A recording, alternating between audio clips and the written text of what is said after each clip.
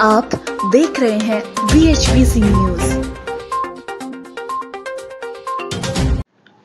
नमस्कार, स्वागत है आपका। मेरा नाम है विपिन विभाग। उत्तर प्रदेश के इटावा से बीजेपी सांसद रामशंकर कठेरिया एक मामले में आगरा कोर्ट में दोषी पाए गए एमपी एमएलए कोर्ट ने कठेरिया को धारा एक सौ सैंतालीस और 323 के तहत दोषी करार दिया है। बीजेपी सांसद पर साकेत मॉल में टोरेंट कंपनी के ऑफ़िस में हंगामा कर तोड़फोड़ का आरोप है। 16 नवंबर 2011 को वारदात हुई थी। इस मामले में कोर्ट ने दो साल की सजा सुनाई है। साथ ही पचास हज़ार रुपए का जुर्माना लगाया है। ऐसे में रामशंकर कठेरिया की सांसद सदस्यता समाप्त हो सकती है।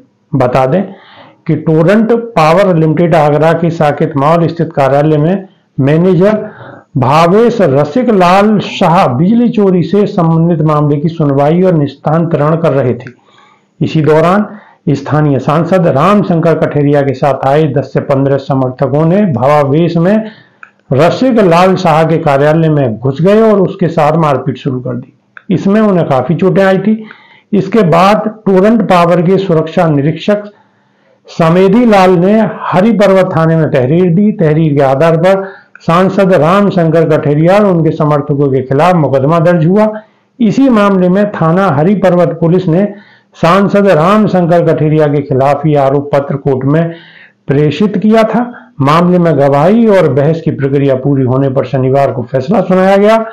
वहीं सजा मिलने पर बीजेपी सांसद रामशंकर कठेरिया ने अपनी प्रतिक्रिया देते हुए कहा है कि मैं मान्य कोर्ट के फैसले का सम्मान करता हूँ। स्वीकार करता हूँ, अपने अधिकार का प्रयोग करते हुए आगे अपील करूँगा।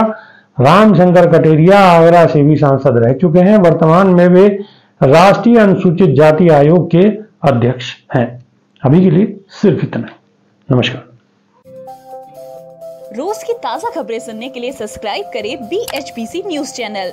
साथ ही रोज के नोटिफिकेशन जानने के लिए दबाए बेल आइकन साथ ही हमें अपनी राय देने के लिए हमारी वीडियो पर कमेंट करके बताएँ और वीडियोस को लाइक और शेयर करना बिल्कुल ना भूलें।